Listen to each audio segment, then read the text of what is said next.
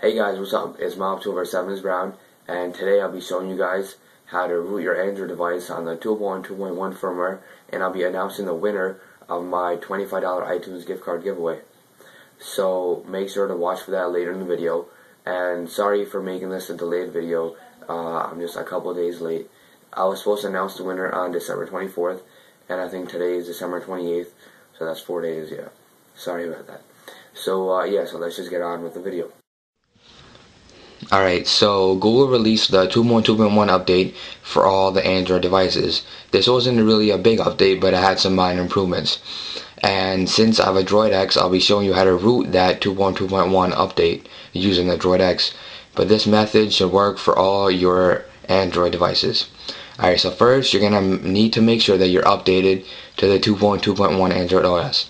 And to do that, all you do is go to your settings and you go down to about phone and you click on system update and you should look for an available update. And if there is one then install it but if you're already updated to it then it should say that there's no update found. Alright so after that you're gonna need to uh, connect your phone to your computer and put in USB debugger mode and I'll show you how to do that right now.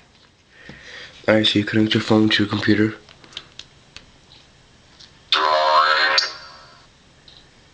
and you scroll down click on USB connection and select USB mass storage. It should be the third one down. And click OK. And now I'll show you what you have to do on your computer.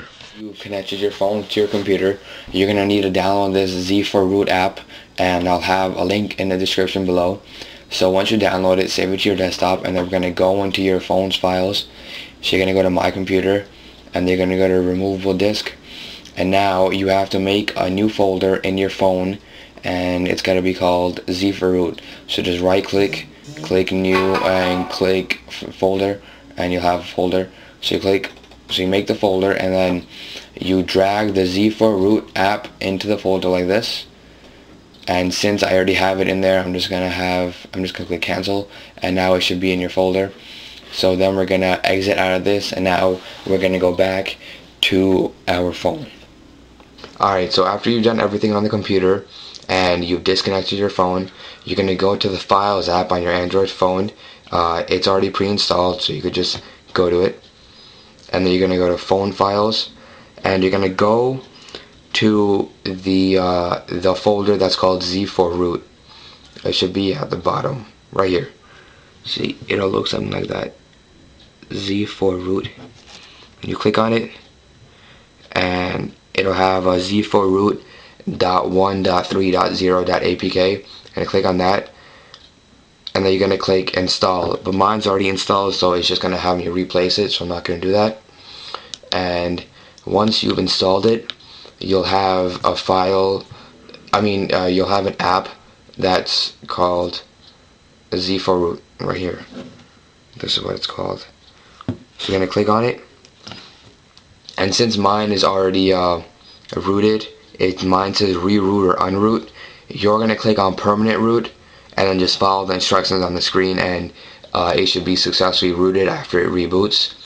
And then after it reboots, you're going to, to make sure that it's rooted, you're going to need to go down and you should have this app. It's called uh, Super User what Super User does is that whenever you download an app that requires rooting, Super User, Super User uh, allows access to use that app. So just to show you. And these are all the apps that I have that are only for rooted devices. Alright, now since you're done installing the root and you have the Super User app on your phone, that means that you've successfully rooted. So now you'll be able to tether from your phone for free without having to pay the monthly charge and you'll be able to download free games and do other stuff too alright so now let's go and I'll announce the winner for the giveaway Alright, so now for the winner of the giveaway. Uh, to win this giveaway, all you had to do was comment on my video as many times as you wanted, and if you had commented the most, then you would have won. And the giveaway lasted for about two weeks, and there are uh, over 400 comments. So the person who won the giveaway and will win and will get the $25 iTunes gift card is Concord72.